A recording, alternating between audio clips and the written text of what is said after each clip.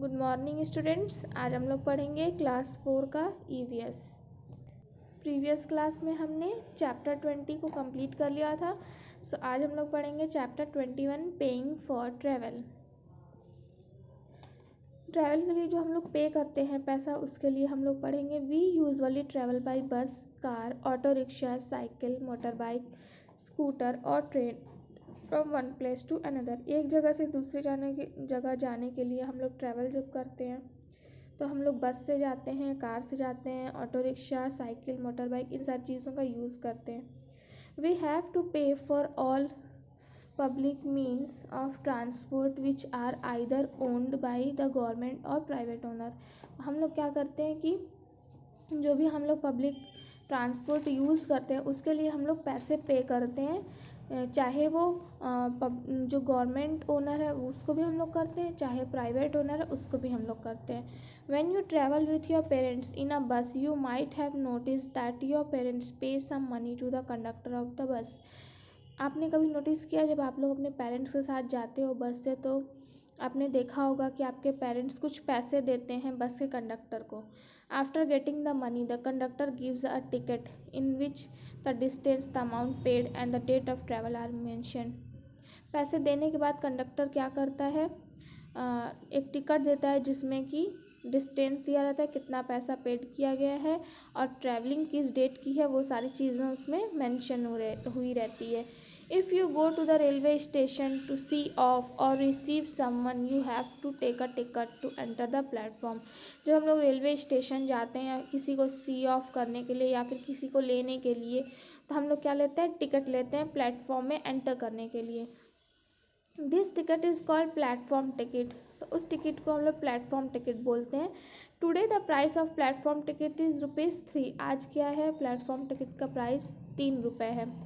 When you travel by train for short distance you buy a general ticket जब आप लोग जब हम लोग ट्रेन से ट्रैवल करते हैं, लेकिन कम ही दूरी के लिए तो हम लोग क्या लेते हैं? जनरल टिकट लेते हैं.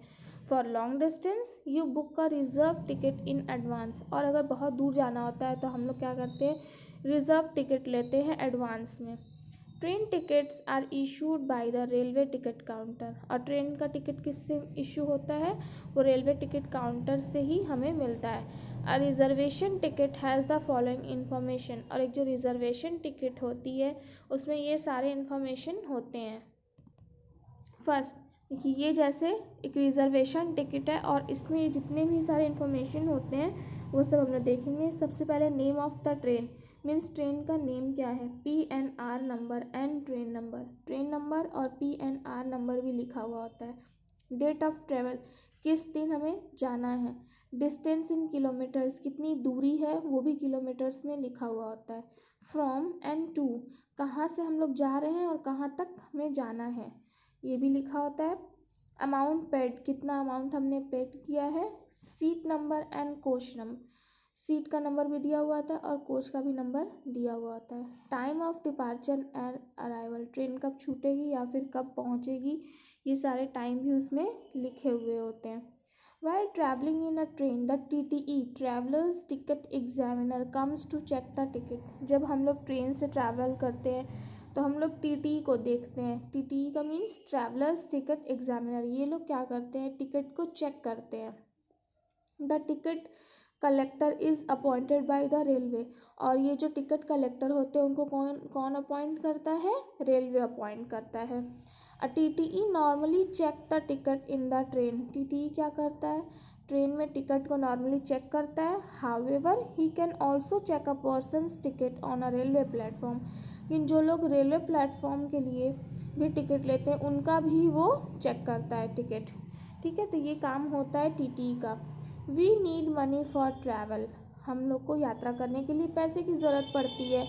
So when you travel there arise a need to know about our currency जब हम लोग ट्रैवल करते हैं तो हमें ज़रूरत पड़ती है कि हमें अपनी करेंसी के बारे में जाने एंड इट्स वैल्यू और उसकी वैल्यू की। Let's how let's now learn about currency तो चलिए, अपने करेंसी के बारे में कुछ पढ़ते हैं। Indian currency Reserve Bank of India manage the currency in India India की करेंसी को कौन मैनेज करता है? Reserve Bank of India means R B I Indian currency is made of paper bank notes and metal coins Indian currency paper bank note से बनी हुई होती है और मेटल कॉइन्स से बने हुए होते हैं. Every country has its own currency हर एक कंट्री की क्या है? अपनी खुद की एक करेंसी है. The currency of India is rupee and paisa India की करेंसी क्या है? रुपी एंड पैसा। ठीक है? नेक्स्ट हम लोग पढ़ेंगे कॉइन्स के बारे में। Coins up to fifty paisa are called small coins जो पचास पैसे तक के कॉइन्स होते हैं, उसे हम लोग बोलते हैं small coins and coins of one rupee and above एक रुपये या फिर एक रुपये से ज़्यादा के जो रुपए होते हैं, उसे हम लोग बोलते हैं rupee coins nowadays small coins are out of circulation and therefore not use लेकिन अब क्या हो गया? जो छोटे छोटे कॉइन्स होते हैं, उसके अब यूज़ को, कुछ यूज़ नहीं है। Symbol of lion seen on the Ashoka pillar at Sarnath Sarnath में हमने अशोका पिलर पे सिंबल ऑफ़ लॉयन देखा होगा। Is found on the most of the coins mostly सारे कॉइन्स में ये होता है।